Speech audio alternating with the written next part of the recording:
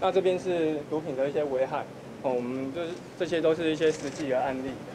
行政院长赖清德在人员的引导下，一一参观反毒行动巡回车。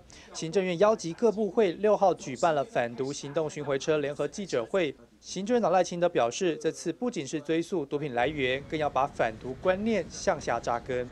我们的行动呢，不是只限于过去的哈，常常把重点放在吸毒者，而是要往上溯源到药头，不管是制毒、贩毒或者是运毒。另外呢，也向下啊。到社区里面去，那当然也跟各级学校啊，特别是校长、老师、家长会们啊，大家共同合作。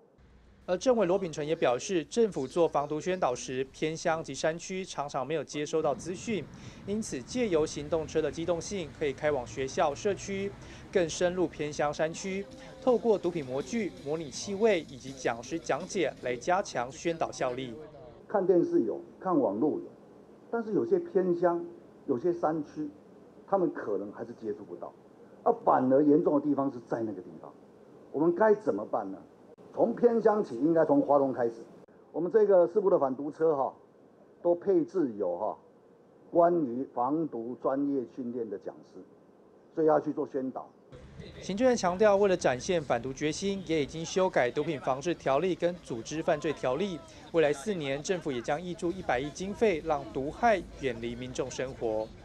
原新闻报导台北市采访报道。